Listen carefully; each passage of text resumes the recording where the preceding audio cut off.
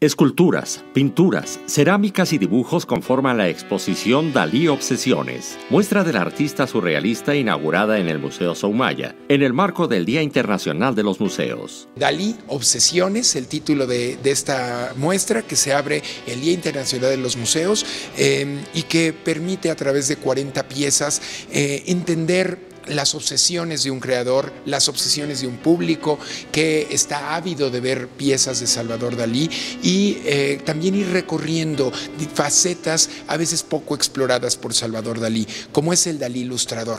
400 años de Cervantes y de Shakespeare, bueno, pues nos acercamos a la obra que ilustró Dalí de Cervantes. 40 obras del creador español pertenecen a la colección privada del Museo Soumaya y estarán expuestas por tiempo indefinido para que el público tenga la oportunidad de apreciarlas. Son todas de Fundación Carlos Slim, eh, algunas han estado ya expuestas en Museo Sumaya, pero tenemos grandes sorpresas como eh, washes, eh, dibujos y algunas esculturas como la Venus del Milo, que en realidad son inéditas, las estamos presentando en el Día Internacional de los Museos, en Museo Sumaya, en la sede del sur, en Plaza Carso. La muestra abarca un periodo creativo que va de la década de los 30 a los 60. Dalí es un obsesionado con la fama, con su imagen, con el oropel también eh, que, representa el arte.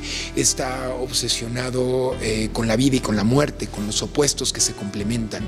Eh, Dalí Obsesiones es una oportunidad también para que descubramos cuáles son nuestras obsesiones. No tiene costo, la entrada es completamente gratuita y eh, lo estamos esperando a seguir disfrutando de los museos, de su impacto, de los sueños de Dalí, del arte. Con información de Manuel Bello y Gabriel Vaquero e imágenes de Enrique Romero, Notimex.